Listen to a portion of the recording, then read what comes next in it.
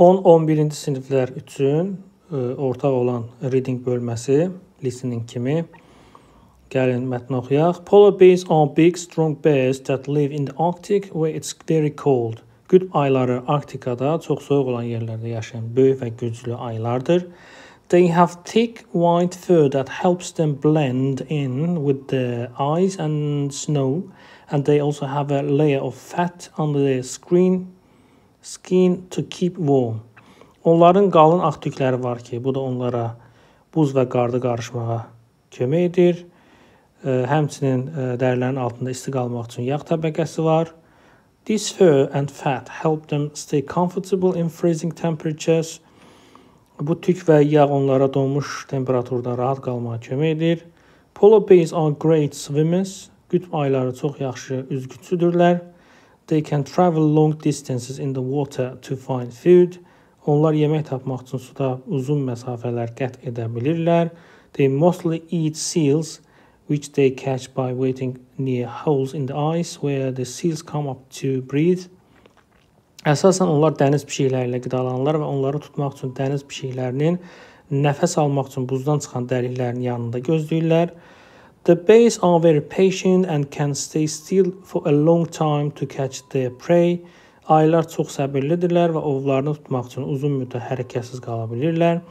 Polar bears usually live and hunt alone. Qütb ayları adətən tək yaşayır və ov edirlər.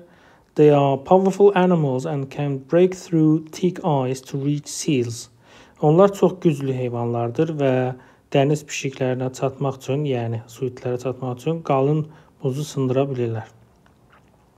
They also have an excellent sense of smell and can detect seals from far away. Onların ə, e, həm də çox yaxşı iyi bilmə qabiliyyəti var və uzaqdan su itləri hiss edə bilirlər. Lately, polar bears are having a hard time because climate change is melting the ice they need for hunting. Son zamanlar iqlim dəyişikliyi ov üçün lazım olan buzu əritdiyindən qütb ayları çətinliklərlə üzləşir. With less ice, it's harder for them to find food. Daha az buz olduğuna görə yemək tapmaq onlar üçün daha çətin olur.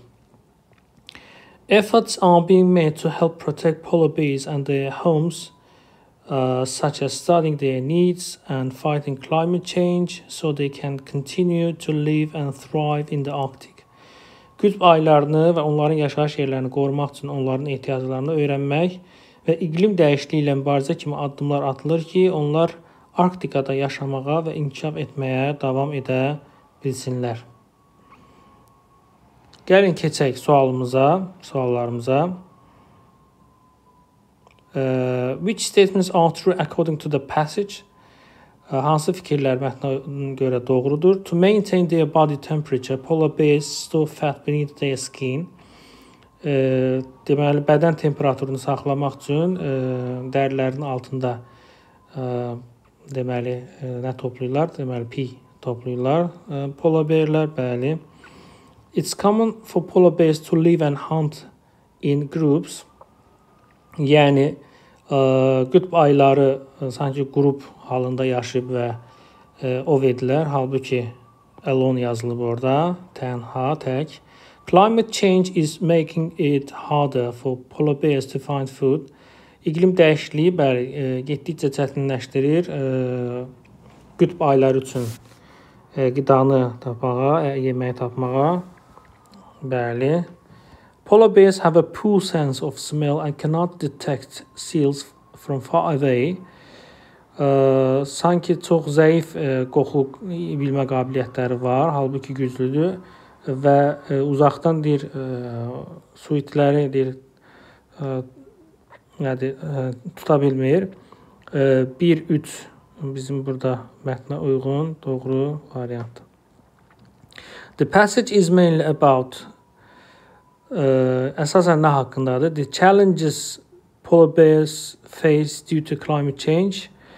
İqlim dəyişikliyinə görə ə, polar bearlərin üzləşdiyi çətinliklər, xeyr. Big strong bears living in the Arctic. Yəni ümumi olaraq burada Arktikada yaşayan ə, böyük ə, güclü aylardan söhbət gedir. The diet and hunting habits of polar bears qütb aylarının e, belə deyək, qidası və ov vərdişləri, xeyr. The Arctic environment, Arktika ətraf mühiti, xeyr. The importance of protecting polar bears, qütb aylarını qoruma, əh qorumağın əhəmiyyəti əsasən onun haqqında deyil.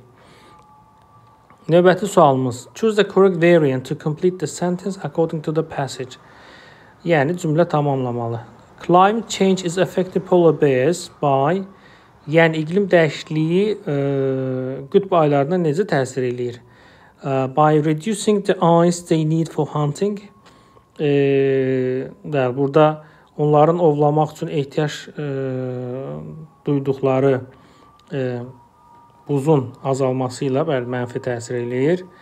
Making it easier for them to find food sanki işlərini asanlaşdırır yemək tapmaqda. Xeyr. Increasing the amount of ice in the Arctic. Arktikada uh, buzun miqdarını uh, artırmaqla xeyr. Uh, helping them swim longer distances kömək edir. Uh, demək kömək etməklə uzun daha uzaq məsafələr üzməyə xeyr. Providing more seals Uh, for them to catch uh, tutmağa onlara daha çox uh, suitləri təmin edir. Xeyr. Yəni mənfi məna olmalı idi. O da A variantındadır. Choose the correct answer to the question according to the passage. Verilən suala düzgün cavab tapılmalıdır. What are some of the efforts being made to help protect polar bears? Qütb aylarının qorunmasına ə, kömək etmək üçün hansı ə, səylər göstərilir? Baxaq. Increasing the number of seals in the Arctic. Arktikada ə, su itilərin sayının artırılması, xeyr. Studying their needs and ə, fighting climate change. Onların ehtiyacını öyrənmək və ə, iqlim dəyişikliyinə qarşı mübarizə aparmaq. Bəli. Providing polar bears with artificial ice.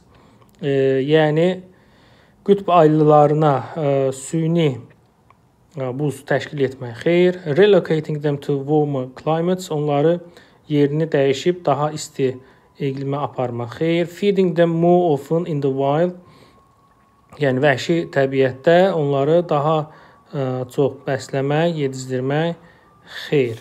Yəni doğru variant B variantıdır. Keçirik növbəti suallarımıza. 27, 28, 29 bunlar ə, açıq tipli ə, suallardır. Yəni yazı işi tələb olunur. Gəlin baxaq. Which word from paragraph 3 best fits the following definition? Uh, to turn from something solid into something soft or liquid. Yəni bizə lüğəvi mənası verilib. Sözün özü də tapılmalıdır. 3-cü paraqrafda verilib. Deməli, Burada bərkdən, bərk haldan belə deyim, maye halına keçid var. Keçirmək, yəni əritmək mənasında, yəni to melt olacaq. To melt fe'lini burada biz qeyd etməliyik. To melt. Write the synonym of the word tolerant from paragraph 2. Demək, paraqraf 2-də ə, tolerant sözünün sinonimi olan bir ə, söz var. Ə, onu tapmalıyıq. O Tolerant həm də sifətdir. Nəzərinizdə tolerant yəni bizdə o söz istifadə olunur, yəni dözümlü, səbirli mənasında. Bəli, burada patient sözü var. Həmin patient sözünü bura qeyd eləyirik. Complete the sentence by changing at least two words according to the passage. Yəni mətnə uyğun olaraq bu cümləni tamamlamalıyıq, amma ən az 2 söz dəyişməklə məna təbii ki, yerində qalacaq. The ability to break through thick ice Yəni e, o qalın buzu qırma qabiliyyəti ilə başlayır. İndi baxaq burada bu cümlə buna bənzər cümlə hardadır? Bəli, buradan başlayır. They are powerful animals, yəni söhbət polar bears-dən gedir and can break through thick ice to reach seals. Yəni deməli bu qabiliyyət bunlarda var. Bu qabiliyyət bəs nə edir? Bu qabiliyyət deməli həmin qütb aylarına ə, imkan verir ki, onlar ə, su itilərə çata bilsinlər. Catch seals deyə bilərsiniz, access seals deyə bilərsiniz. Məsələn, burada nədir? Bu bacarıq imkan verir ki, allows ya da lets baxırdan indi yaza bilərsiniz. Polar bears imkan verir onlara nəyə? To catch to reach reaching reach-i dəyişdirsək to access ə, seals deyə bilərik. Ə, deməli catch da demək olar. Yəni sırf sinonim olmaq məcburiyyətində deyil, amma mətnə uyğun gələn sözdür. Yəni to catch seals da vermək olar. Keçirik 30-cu suala. Mövzu ilə bağlı what are some notable animals native to your country and how do they contribute to the country's biodiversity and cultural heritage? Yəni sizin ölkənizə məxsus hansı tanınmış belə deyək də heyvanlar var? Yəni ölkənizə öz məxsus and how do they contribute to the uh, country's biodiversity and cult cultural heritage və ə, ölkənizin biomüxtəlifliyinə, ə, mədəni irsinə ə, belə deyək də töhfəsi nədir? Ə, müxtəlif ə, heyvanlar haqqında yazmaq olar, amma töhfəsini də mütləq ki vurğulamalısınız. Yəni burada 1 2 3 heyvanın adını çəkib onun nələr nələri simvolizə etdiyini ə, demək lazımdır. Yəni mədəni irsimizə və belə deyək də ətraf ə, mühitə olan ə, belə deyək ə, qazandırdığı nədir, verdiyi töhfə nədir, o haqqda danışmaq olar. Bir dənə nümunə mən burada ə, vermişəm. Yəni bu, bu bir nümunədir. Yəni buna baxaraqdan ə, siz də özünüzə uyğun yəqin ki ə, bildiyiniz qədər ən az 3 cümlə yazmaq lazımdır. Əsas şərt odur.